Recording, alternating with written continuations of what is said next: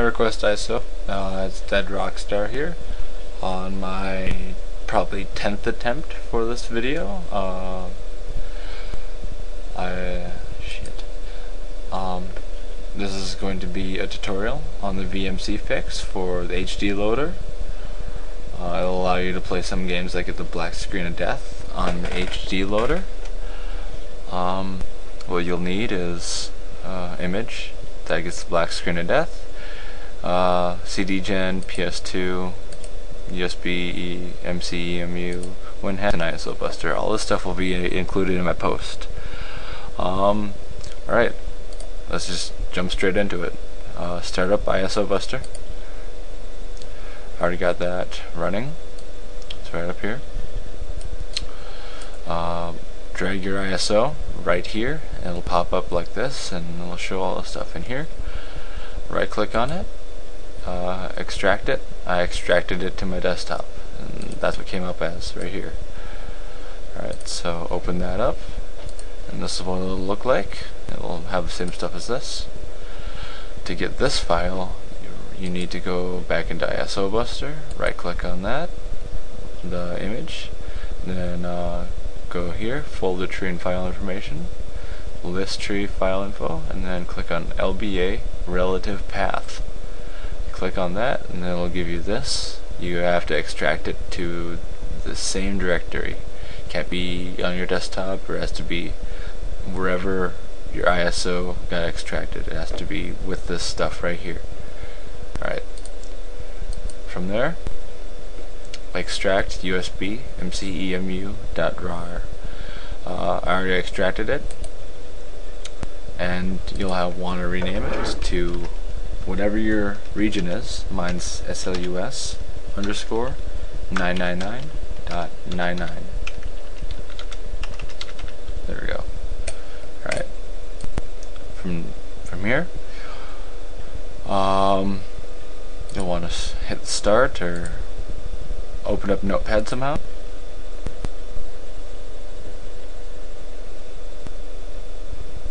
And then drag the system file in your newly extracted uh, image and then drag it into there and it'll open up something like this and you'll want to change it so it's uh, whatever so this stuff right here that's highlighted should match this right here it should match that name.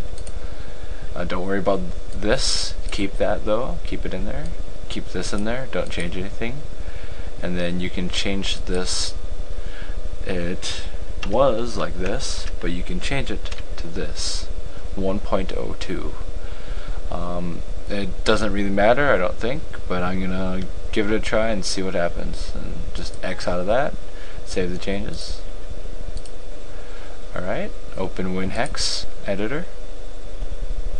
And now, you'll want to drag the slus underscore 999.99 into there. And you're looking for the code 0004C00. So, look for that I'll show you when I find it. Four zero zero four C zero zero. This is what we're looking for right here. The IOP RP crap and this crap right there. A lot of crap. Alright. You want to match this up this file. This is a file in your image somewhere. You have to find it. And this one it's wrong. You have to change it. This is this is just generic information right now. So you'll want to change it so it's the right the right way. My IOPRP file is in the modules folder. So what I'll want to do then is rename this to modules backslash IOP RP 213 dot img semicolon 1 so this should be exactly the same name as this right here. It should be in the same path So that's pretend that's like the image, image name, modules, ioprp.img. That's where it is. That's where this is right here. So some of them might be right here. In that case, you don't even need a second folder. You can just write that name after the backslash.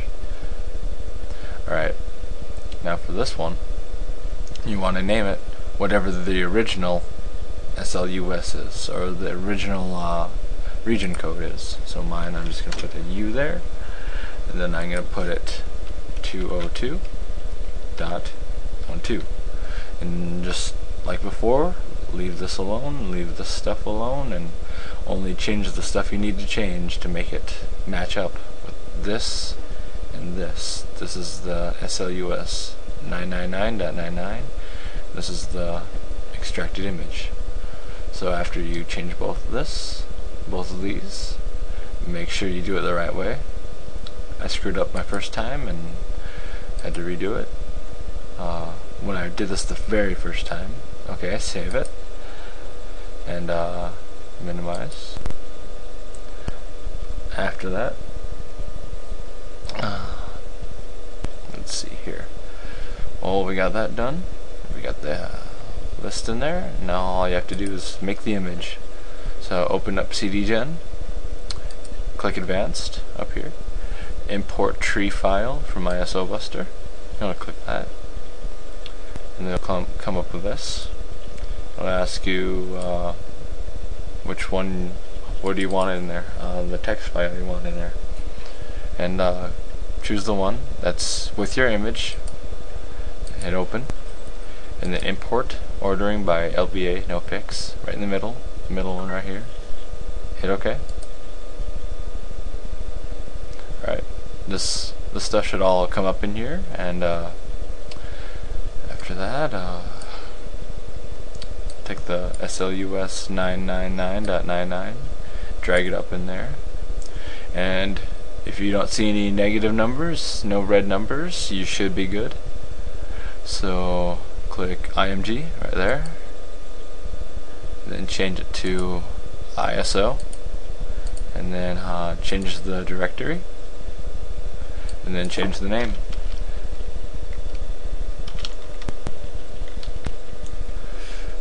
And I'm going to save it. It shouldn't take too long to save. Um, once again, this is for Quest ISO only. I'll be uploading it to YouTube. Um, and like I said before, uh, not all games work for it. Um, I got it to work with uh, SSX3 on tour, or uh, SSX4 on tour. Uh, I almost got it to work with Downhill Domination, but there's something wrong with that. Um, yeah, pretty much at the end of the tutorial. It's not that hard, is it? It can be hard to do by memory, but I've done it so many times. Got it down. Um, one more thing. You'll need a modded PS2 with uh, ULaunch Elf on it and uh, HD loader to get this to work. Um, you can use a virtual memory card, a VMC, to save the game. Not needed. Uh, also, uh, don't support this in any way. But for the people that do. Uh, that's pretty much the end of the tutorial. Um, uh, I don't know if this will work with uh, external hard drives. I know it'll work with internal hard drives. When you put it on there with WinHIIP, um, make sure the boot file is slus underscore 999.99 or whatever your region is, 999.999, whatever. Um, and uh, run in mode 3. And if your boat arrives at port, that means it's a good file saved good, hit OK, and you just completed the VMC fix. Uh, congratulations, and here's my uh, fixed image. and um, I'll see if it works and uh, good luck to you uh, have a good one